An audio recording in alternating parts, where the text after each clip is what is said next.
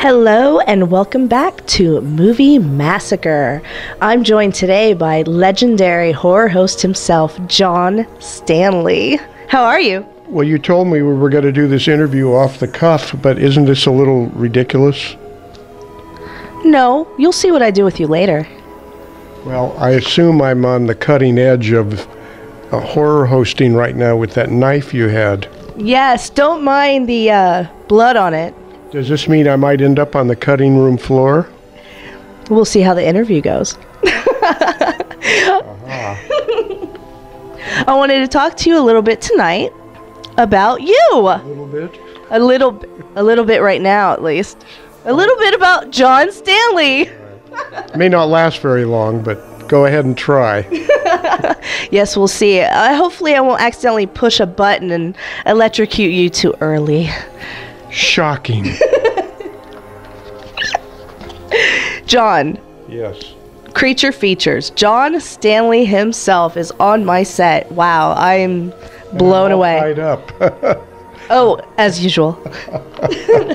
Glad to be here, Miss Misery. Thank you. What would you like to know first? Well, first, I like to know are those too tight? No, they feel fairly loose. I'm I can live with it. Okay, good. Well, I'll tighten those later then. John, creature features. How how long did you host creature features for? Well, Creature Features was on the air for 14 years. Bob Wilkins, my predecessor, did it for eight, and I did it for six. So it is still one of the most popular Bay Area television shows, uh, despite all the years that have intervened. I find that to be amazing that people still remember it. I'm still invited into public places. Can you imagine that? You in public places? Wow. It's true. Now, you also do writing. You worked for Chronicle for a while. Yeah, for 33 years. It started out as a copy boy, and because of my love for movies, I grew up uh, from the time I was six. My father and I would go to the movies all the time. My my dream was to work uh, as a entertainment writer. So one of the first people I sought out at the Chronicle, just to get to know him, was the movie critic, Paine Knickerbocker. What a wonderful name for a movie critic. And uh, because of that relationship, after less than a year at the uh, paper, uh, I was given the opportunity to write some film reviews. And from that, uh, was able to spin out and uh, become an, uh, became a news reporter for a while on the This World magazine, which uh, came out every Sunday. Uh, and it was uh, once described as a condensed version of Time magazine with just the highlights of the week, uh, international, national, and local. Um, well, inserted inside this world was the Sunday date book or the pink section of the Chronicle, which started out uh, as a 16 page uh, pullout. It was purposely put on pink paper so people could find it, pull it out. You'd have the TV schedule for the week, as well as what's at the movies and so on. And there would be a few pages of stories devoted to what was uh, about to happen in the entertainment world. Well, the two sections together put me in the pro- right proximity, and uh, within a couple of years, I was devoting most of my time not so much to writing the news magazine as writing exclusive interview stories for the pink section. Uh, movies, television, nightclubs. Uh, the topless movement was afresh at that time. I should say abreast of what was going on in our uh, the sexual revolution of the early '60s. So it was in a very exciting time, and the Chronicle was in these was in a process of growing. The uh, pink sections really started about two years before I got there, as a as a pullout by itself. So it was fairly new, and uh, there was an opportunity to work for it to help to develop it. Uh, pretty soon, instead of uh, a staff of two, we had a staff of three, four, and over the years, the staff would keep keep growing and growing. And uh, somewhere along the way, I met Mr. Bob Wilkins, who was the host of Creature Features. Uh, in those days, we only had about three major television stations, uh, networks, I should say, and a few independent channels. So if you sat down on Saturday night to watch TV, you might have as many as six stations. And it just so happened that the Sacramento station where Bob started was carried in our area. We lived out in Pacifica, out on the coast side of uh, 20 miles south of downtown San Francisco. Uh, and so I started watching Bob Wilkins, and we became good friends. Not that we ever met, but uh, we contacted each other by phone and by letter. There are many letters that have survived that exchange. And when Bob was moved from Channel 3 in Oakland, uh, in I'm sorry, in Sacramento to Oakland, Channel 2, Jack London Square, uh, I was the very first uh, media representative to interview him. And so a huge uh, story appeared in the pink section on this on the Sunday before the very first creature feature show. And uh, Bob uh, told the story that on Monday morning when he went to work, uh, everyone was truly amazed that someone that nobody had ever heard of in the Bay Area before Bob Wilkins had been given so much space in the pink section of the Chronicle. And uh, Bob just winked and said, Well, it's the people you know, that's what's important. and uh, that established our relationship. And Bob invited me to be a guest on his show quite, quite frequently, maybe three or four times a year. Uh, at that time, I was making short subject uh, 16 millimeter uh, story films, and one night uh, he presented one of my films.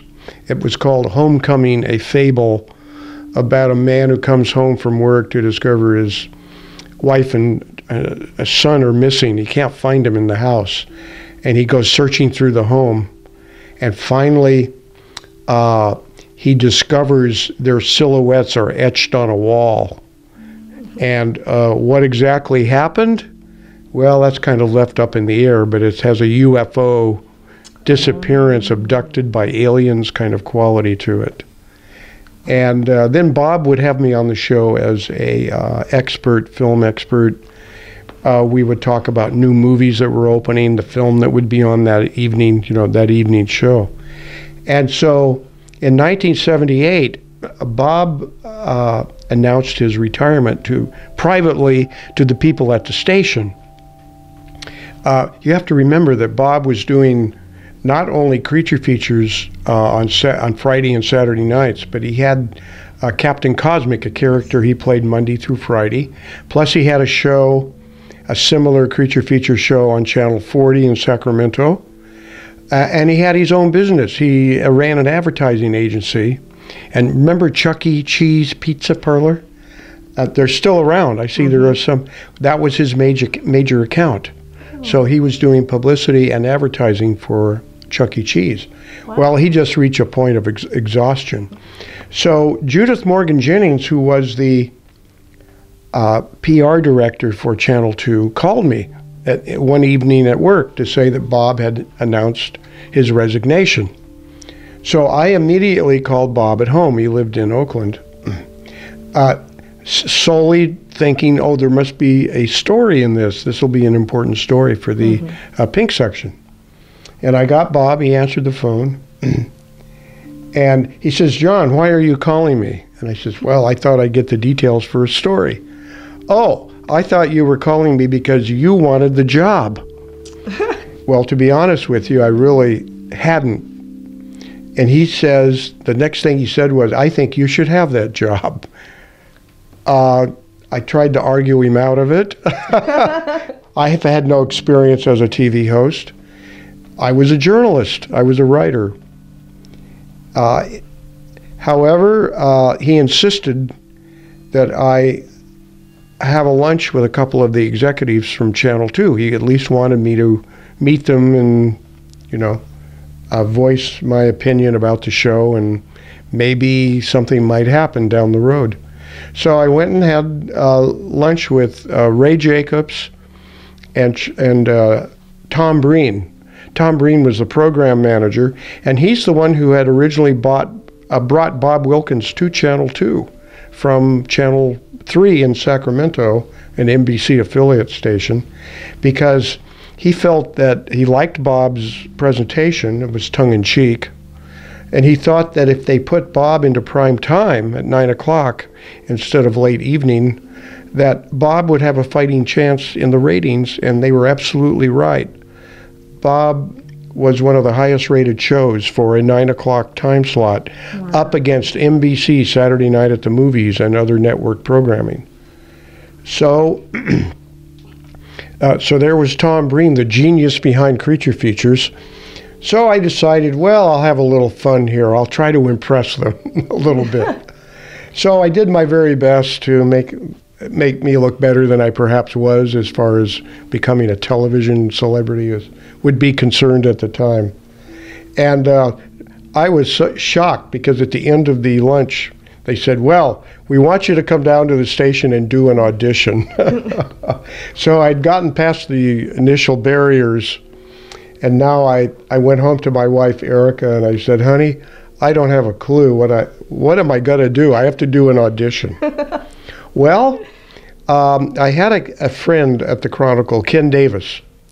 Uh, Ken was an artist and a photo retoucher, and we had written um, uh, we had written a couple of books together. We had made a motion picture called Nightmare in Blood, which was about a horror host uh, in part who goes to a convention of a horror convention uh, at the um, at a theater in Oakland, California, at the old uh, Fox Theater on Telegraph Avenue. We actually rented the theater to make the film, and the film had uh, been distributed, had done pretty well, and uh, so I thought maybe Ken and I'll go out and I'll shoot some footage of me as a horror host around San Francisco.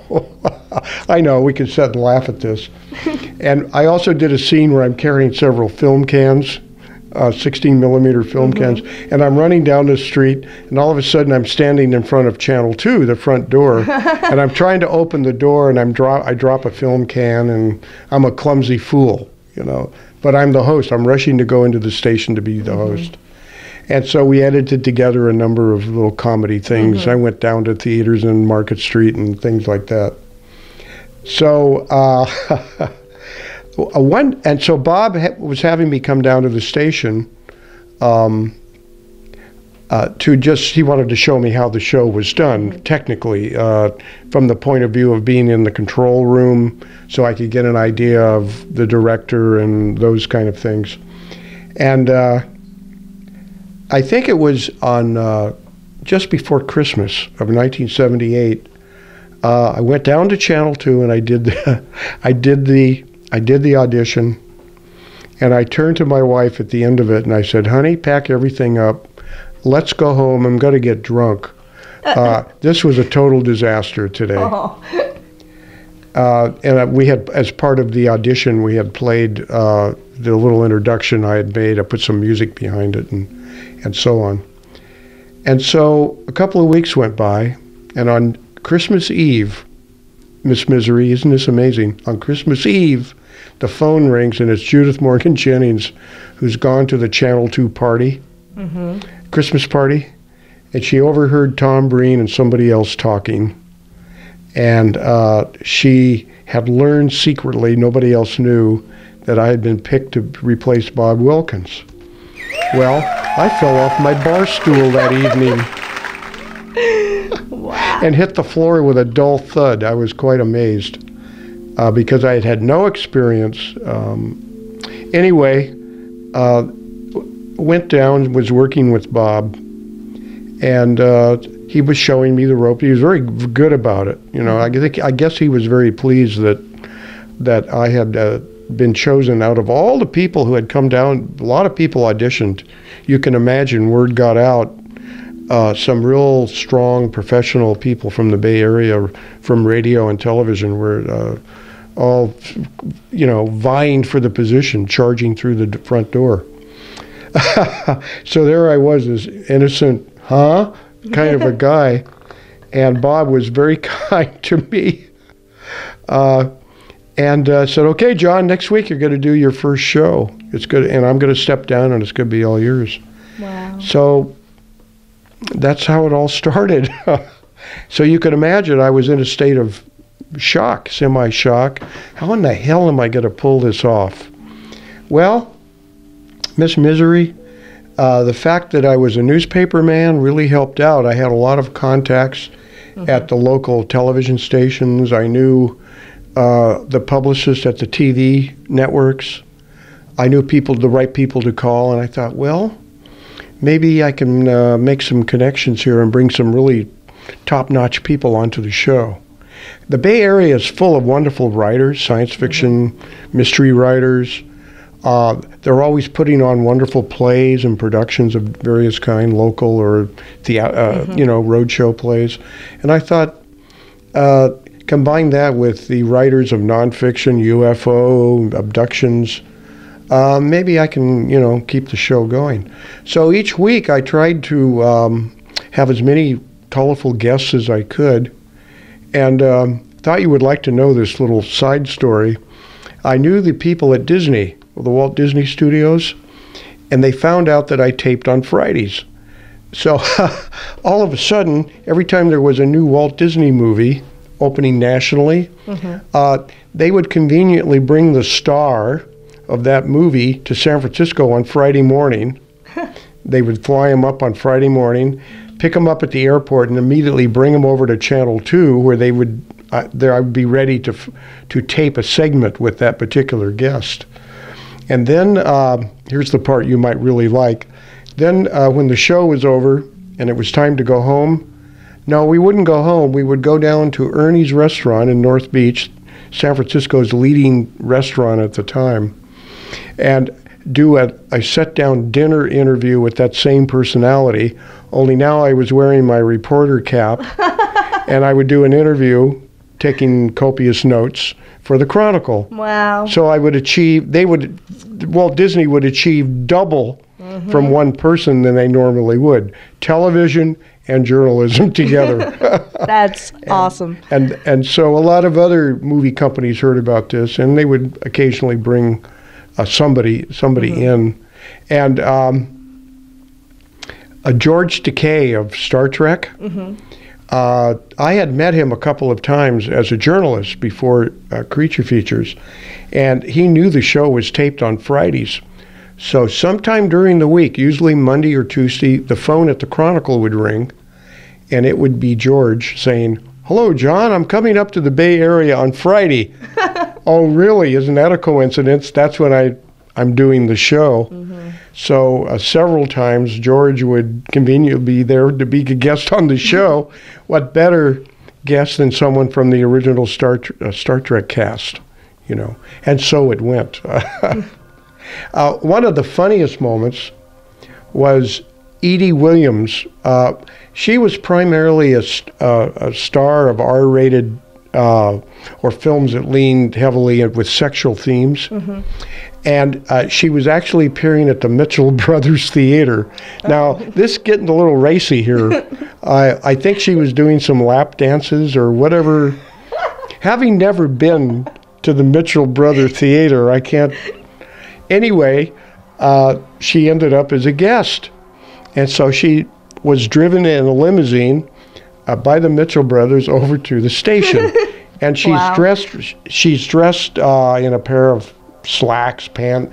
Uh, hair isn't fixed or anything. Looks, you know, nothing special. And she walks in.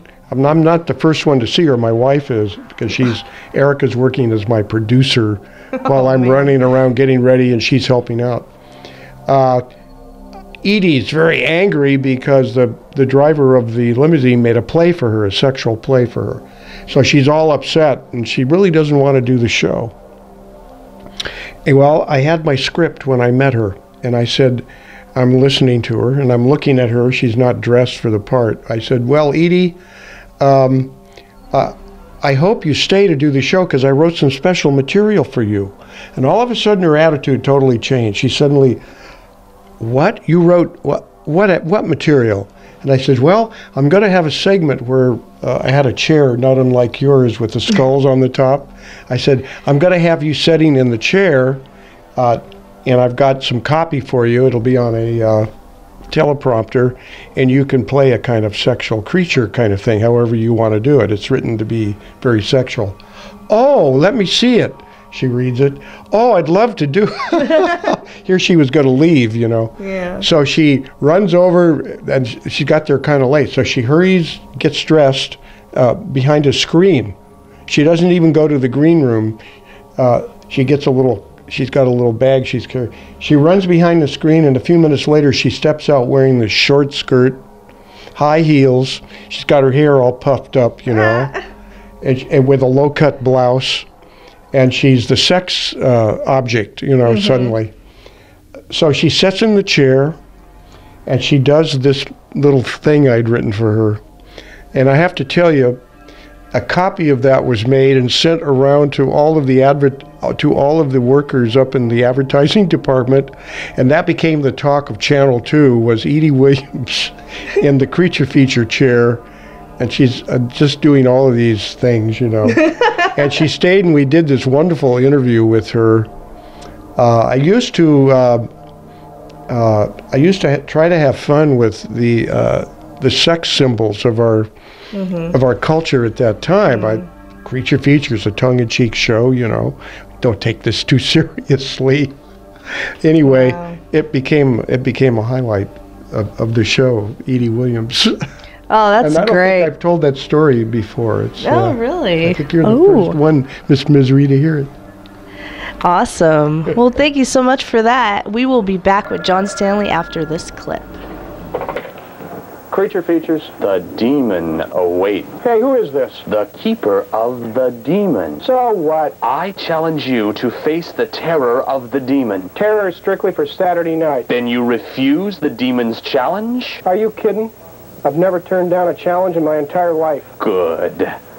Then you'll be outside Channel 2 tomorrow morning at 10 a.m. A black limousine will pick you up. You will be blindfolded. You will ask no questions. Just tell the driver to be on time. I like people who are prompt. The demon will be prompt. More than you can imagine.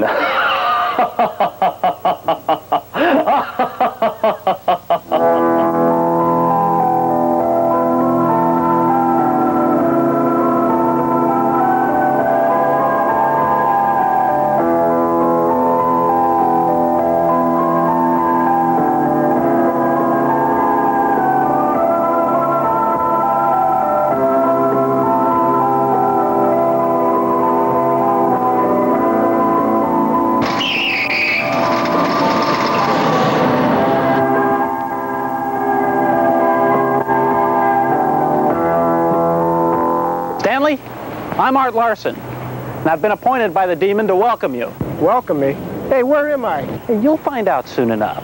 Hey, Larson, you don't scare me with your so-called demon. You don't fool us, Stanley, with your false bravado. Hey, Larson, you want to know how I feel? Steady like a rock. Stanley, I'll tell you how you feel. You're nothing more than a mass of quivering jello. Listen, Stanley, before this day is done, you're going to be wishing you weren't in such a hurry. Take him. The demon awaits.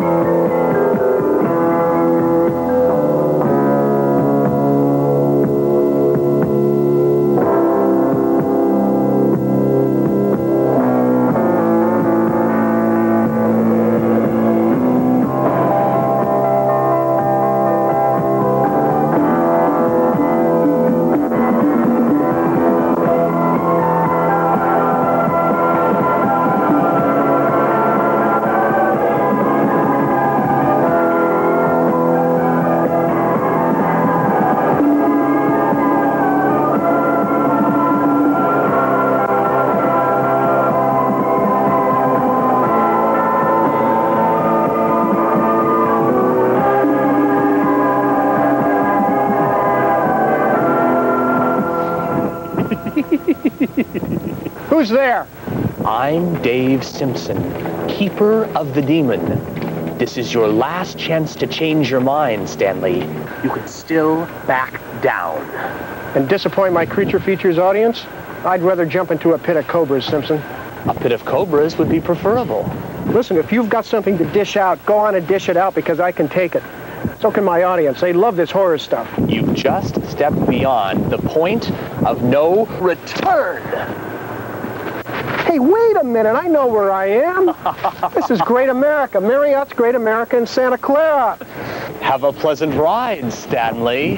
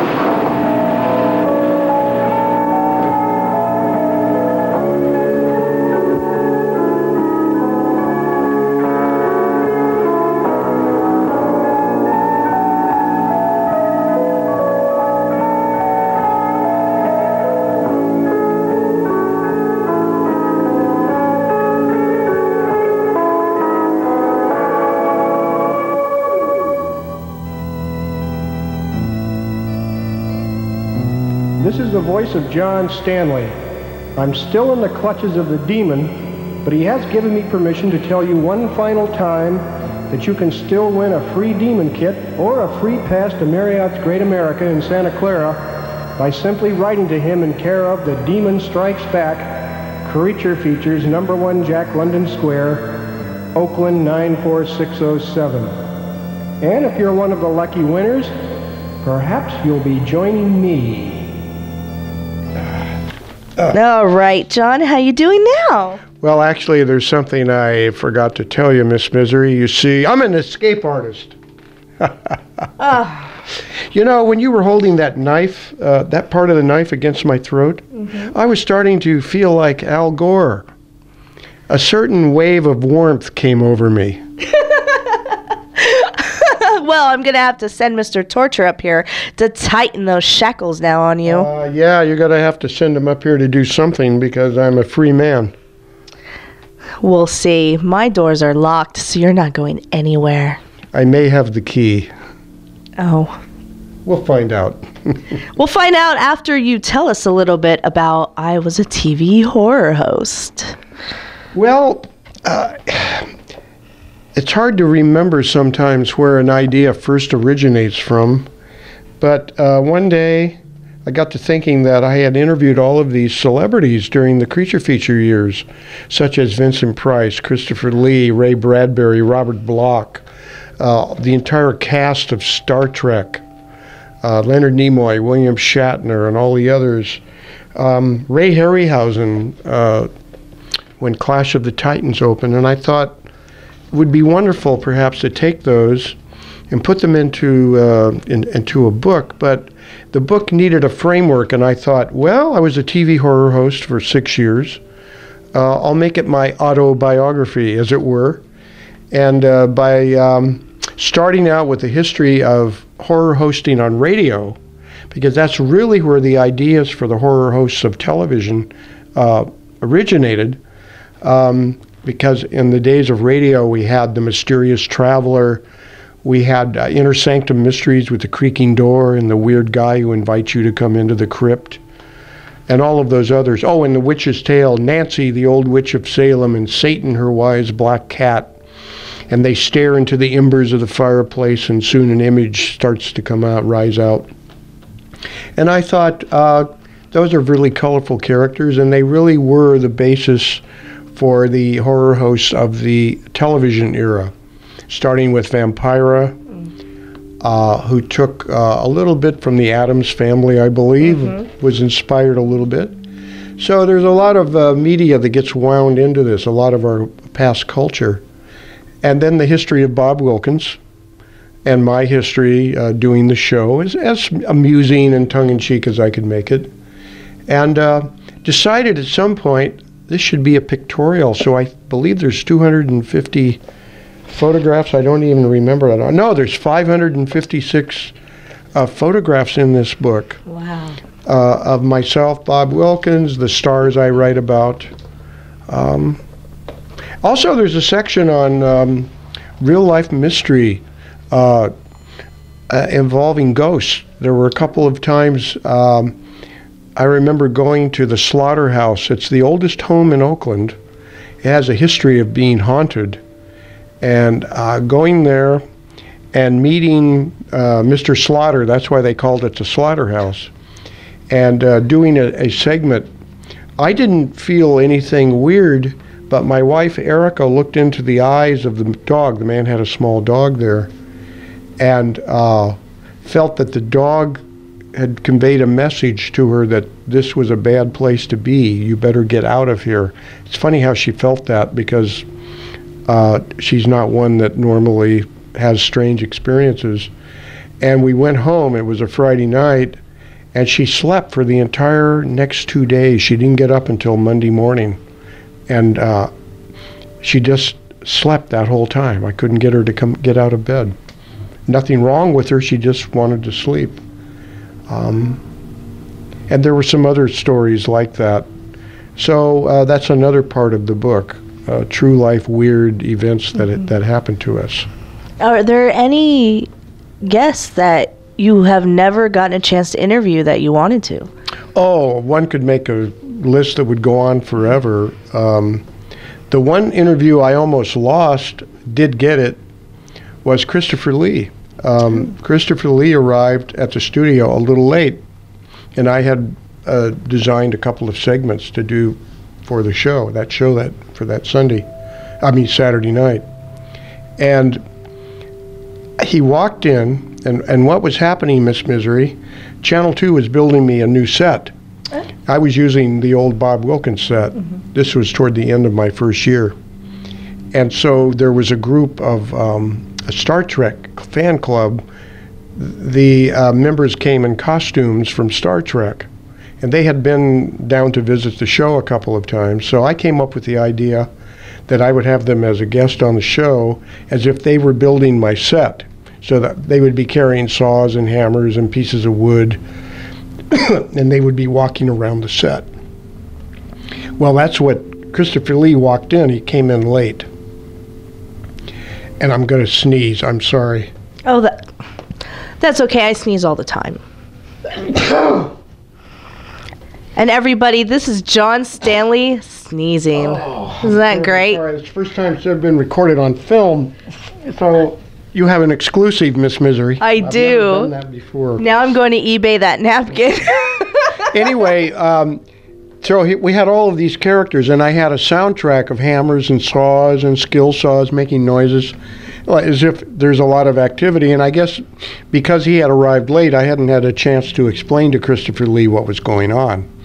And I guess he looked at it and decided this wasn't for him, and he started to walk out the door, but he stopped. There was a TV uh, set above the door. Pardon me. And it was Ray Bradbury. I had just introduced, I was in my chair introducing the segment, and it was Ray Bradbury, whom he knew. So he stopped to watch a, about a five minute interview with Ray Bradbury, and uh, the lights came on. I had finished the segment. And he turned to my wife and said, Well, if it's good enough for Ray Bradbury, I guess it's good enough for me.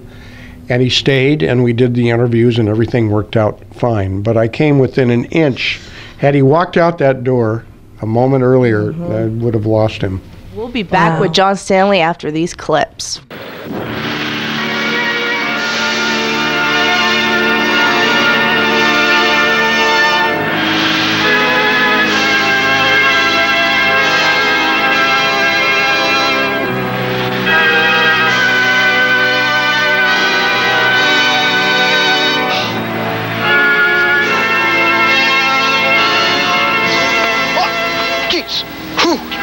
Oh, you scared the phantasm right out of me.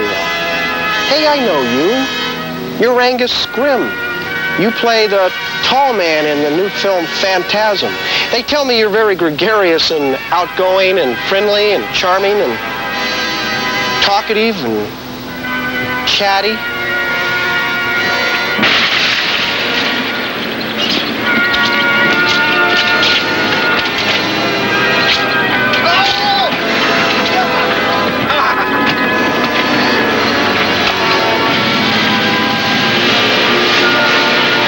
What's the idea of bringing me out here to Morningside Mortuary like this? Say, who are you anyway? I'm Don Coscarelli. I'm the writer and director of Phantasm. We just thought we'd get you in the right mood for the picture so you could take it back to your Creature Features audience and tell them all about it. Didn't we, Angus? I wanted to entertain you in a setting in which I feel most at home. I promise you every comfort. Well, you certainly believe in atmosphere and realistic settings. This graveyard is just like a scene out of Phantasm. Where did you get the inspiration, Don, to make such a terrifying film? Well, as a matter of fact, I've always loved graveyards and I've always loved horror pictures. In fact, we have a Creature Features type show down in Los Angeles that I always used to watch when I was a young boy. It used to scare the heck out of me. At any rate, I always wanted to make a horror film and Phantasm was it. The film is certainly unrelenting, horror after horror, like a nightmare. Would you say that it's representative of your own personal nightmares, Don? I think it definitely does. In fact, one of the best scenes in the picture is about a little weapon that, that the tall man uses in his mausoleum. It's called, the, we call it the Silver Sphere. What it does is it flies around through the hallways, and any intruder, it seeks them out and kills them. By, That's the ball that has the knife on it? yes, it sticks into their head, bores into their brain, and sucks all their blood out of their head. Don, you've made two previous films, neither of which had a horror film theme to it. What made you decide to do a horror film on your third time out as a producer-director? Well, horror pictures have always had a good box office, and that's why I initially wanted to do a horror picture. But the great thing about a horror picture is you can get an audience to scream. And Angus and I go to the screenings now, the sneaks of it, and we stand in the back, and people jump and they scream, and we know where all the screams are, and we find ourselves jumping, and it's just great fun. Now, some of Phantasm is very gory. Do you feel this is essential to a, to a horror film? Well, Gore? not necessarily essential, but it's a big part of it. I mean, people, when they come, you have to be realistic in your violence and use of violence. And, uh, well, what we just decided to do was to, to use lots of gore. We use lots of blood. We use red blood, and we also use yellow blood. Angus Scrimm, how would you, in your own unforgettable words, describe Phantasm? It's about some of the most lovable characters you'd ever want to meet. There's a lady in lavender who lures her lovers out to the cemetery and then plunges a butcher knife into them. That's very convenient for me because it saves me the trouble of going out to gather up the last remains. There's a driver of an ice cream truck who carries pieces of dead bodies in his freezing department. We call them corpsicles. Well, then there's a, a little demon who lives in people's hair and drills into their brains, and there's a caretaker who has his fingers chopped off that then go wandering about the countryside choking people. That's our crowd, and I'm proud to say that not one of them has ever done anything that wasn't thoroughly depraved. Okay, John, I think you got all the information you need to take it back to your creature features audience and tell them about Phantasm. Driver, stop here, please. I hope you have a most entertaining afternoon at Morningside Cemetery. I'm still sitting here with John Stanley of Creature Features. That's right, and I'm holding up his newest book, The Gang That Shot Up Hollywood. Gee, I'm so glad you finally did that. I've been waiting for that because oh. books are hard to sell these days. You've got to get them out into the marketplace, and there's this war going on with the ebook.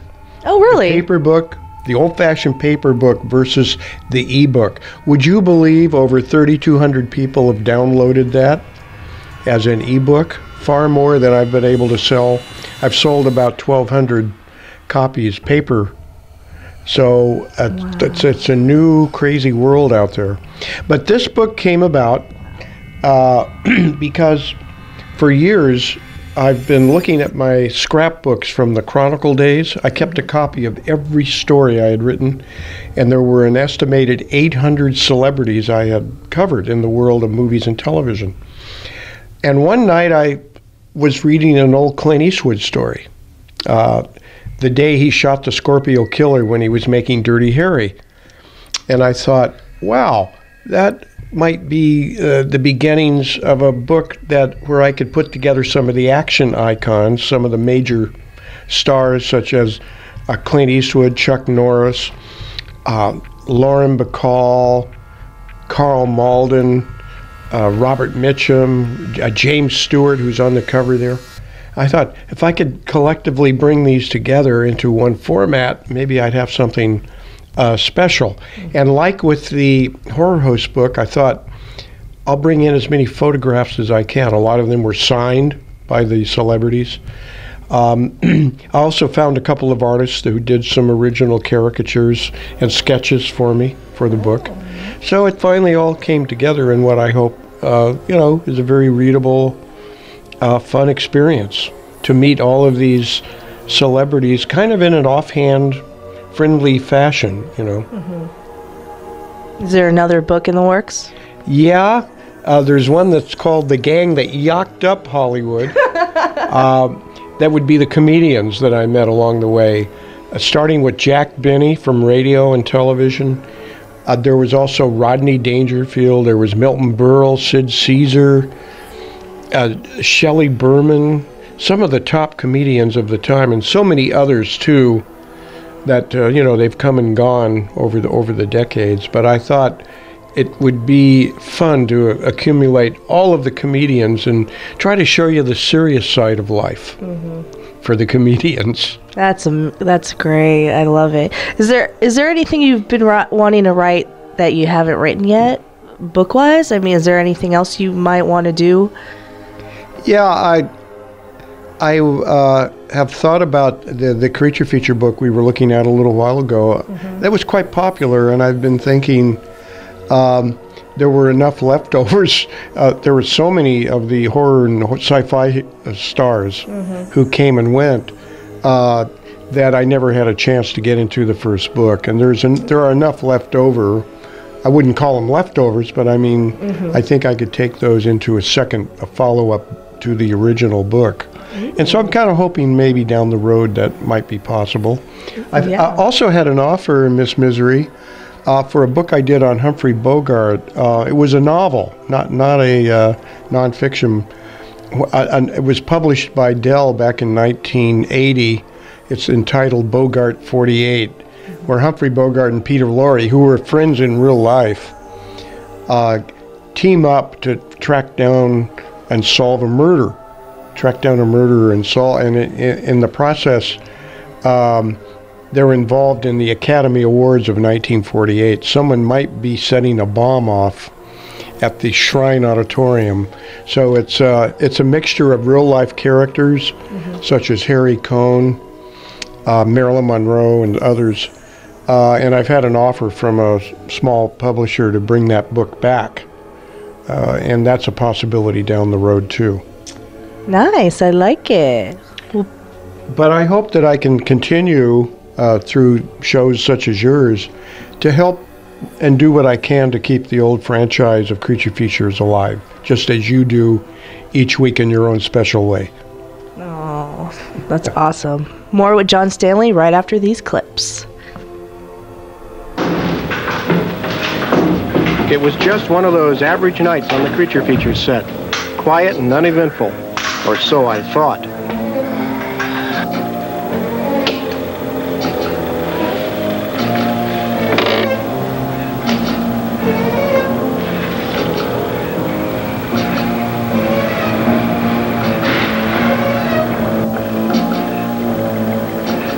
I'm used to packages. I receive several every week from fans. So I thought nothing of it. It was to be the biggest mistake of my life.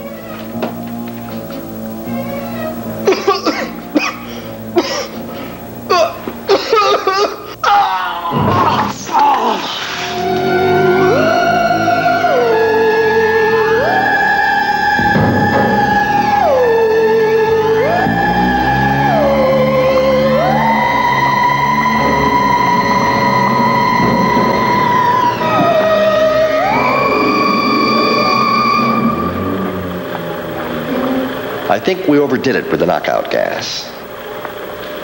Our little gift proved to be wearisome for Mr. Stanley. It serves him right the way he puts people to sleep.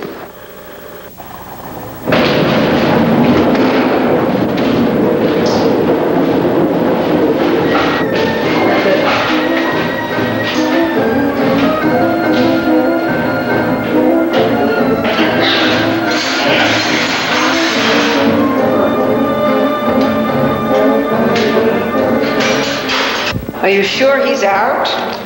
Yes, I'm certain. In a few moments, his fans at Creature Features can expect a brand new host. Ah, are you going to remove all his semi-vital organs? no, most of them are probably inferior. All I want is the heart.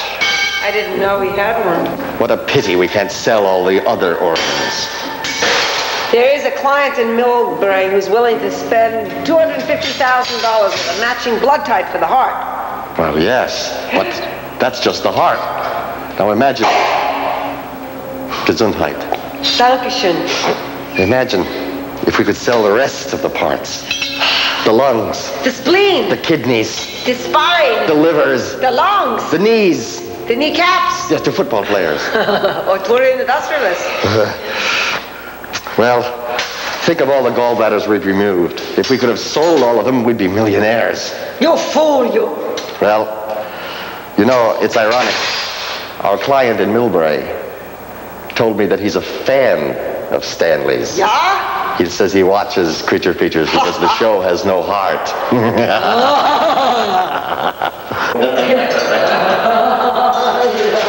Doctor!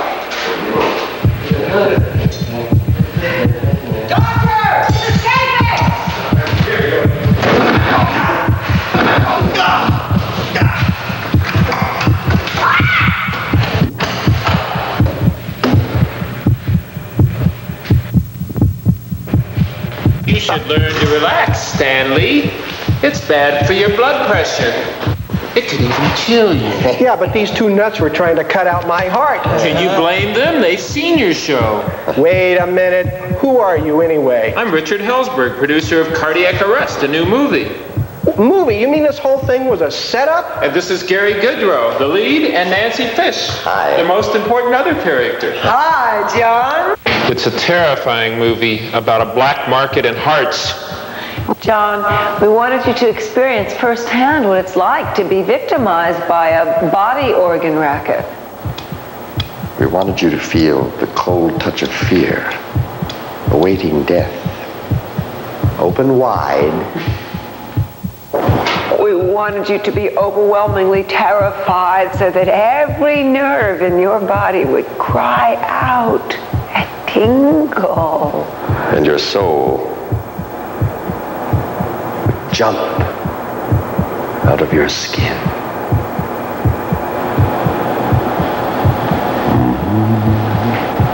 We want you to take the word back to your fans that cardiac arrest is a unique cinematic experience. Yes, you see, John, viewers should experience the same jolt you just did. And feel the terror you felt. And see the horrors you saw. Well, now that I'm captive audience, Richard, you may as well fill me in on your new picture. John, we shot it all in San Francisco. We shot it on location, not in any sound studios.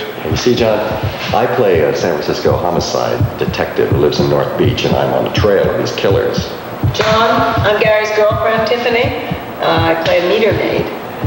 See, John, we were counting on you, Stanley, just to uh, let the public know what a good film this is, and to let them know how dangerous it is when you start putting a price tag on the human body.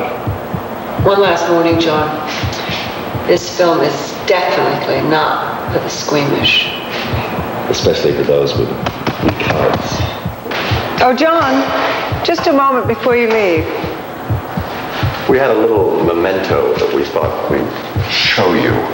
So you can always remember this touching moment.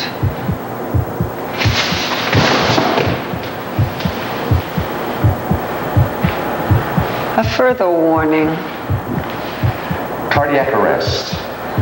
is a motion picture. That is all. I, I don't know how you did this, but I let my guard down for just a moment and I suddenly found my hands entrapped once again. That's right. I'm sneaky like that. Well, I'm just going to have to keep my eye on you a little, with a little more care. Or you could just stay here tonight. Oh, really? But you'll be tied all night. Sorry. I'll be tied up. Yeah, okay. I won't have time for anything else. No, sorry about that. But John, thank you so much for being on the show. Is there a website we can go to and check out more? Well, yes, uh, we have www.stanleybooks.net where you can uh, find the two books we've talked about, plus some of the DVDs that are currently available. We have our DVD history of Eddie Muller, the film noir expert. Uh, there's John Stanley meets Jack the Ripper. We didn't talk about that one, Miss Misery. No, we didn't. Uh, I used to do short mini movies, uh, pastiches of feature films. Uh, we would get Chuck Norris uh, and other actors to help us do those things, and we brought them together into four hours of uh, creature feature material on two discs. Ooh, I like it. That's one that the fans might want to look into. Great. Well, John, thank you so much again. It's been great about you talking about creature features and just learning a bunch of history. And I will definitely have you on again if you can escape the chair. Oh, I'm going to be tied up, so don't bother. Until next time, my little ghasts and ghouls, I'll see you in your nightmares.